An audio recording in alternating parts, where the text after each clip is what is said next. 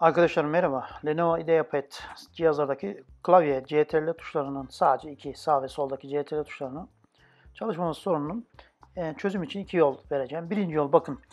Bu bilgisayarınızın açılmış hali. Bilgisayarınızın şu bak şu gördüğünüz klavye kablosu anakata girdiği yerde şöyle bir kıvrılma noktası var. Genellikle bu kıvrılma noktası kapağının altında kaldığı için bakın şu dokunduğum yerler. Burada bir e, kopukluk oluşuyor. Bu sebeple bu klavyeniz çalışmamakta. Bunun için ne yapabiliriz? Bakın şöyle küçük bir sünger parçası buldum ben. Bu sünger parçasını bu klavyenin tam kıvrılma noktasının olduğu yere şu şekilde yerleştireceksiniz. Çünkü kapağı koyacağım ben biraz sonra kapağı bastırdığımda bu cihazın bu kıvrılma yerinin tekrar eski haline gelmemesi gerekiyor ki bu kopmalar olmasın. Şimdi deniyorum. Bakın cihaz çalışıyor, klavye çalışıyor. Şimdi bu yöntemi yaptığınız yine olmadı. Az önceki yöntemi yaptığınız yine olmadı.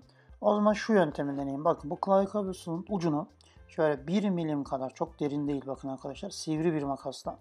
Çok sivri olsun. Sivri bir makasla, keskin bir makasla pardon. Bu şekilde 1 milim kadar kesin. Çok ıı, fazla kesmeyin. Klavyenizi bozabilirsiniz. Önden söyleyeyim ben size. Bakın kestiğim boy oranını gördünüz. Daha sonra birinci yöntemdeki gibi bu kıvrılma noktasına arasına sünger koymadım ben şimdilik. Biraz sonra göstereceğim tekrar zaten. Tekrar takın eğer ve test edin. Klavyenizin çalışacağını göreceksiniz. İki yol sunuyorum size. Birincisi bu kıvrılma yerinin biraz düzleştirilip eline arasına şöyle sünger tarzı bir şey koyulup takılması. İkinci yol ise yine çalışmasa birinci yoldaki. Buradaki gibi ucunu hafifçe kesip bu, kişi, bu şekilde kullanabilirsiniz. Şimdi biz ilk yolda süngeri koyduktan sonra kapağı kapatacağız.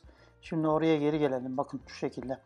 Kapattıktan sonra bataryayı taktıktan sonra bakın elinizle klavye kablosunu bataryanın altında bırakmayın. Orada çık, e, ezilmesin. O süngerle beraber bakın bu şekilde kapağı yani ters yöne koyup bu şekilde kapağı kapatın. Eski haliyle kapatmayın.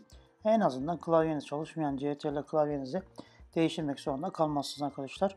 Bu şekilde bir çözüm yöntemi sizlere sunduk. İki yolu var. İkisini de dikkatli şekilde deneyin. Evet en son deniyorum. Bakın büyük harf yazmıyor. CTRL ile beraber bu şekilde artık klavyemi kullanabiliyorum. Kolay gelsin değerli arkadaşlar.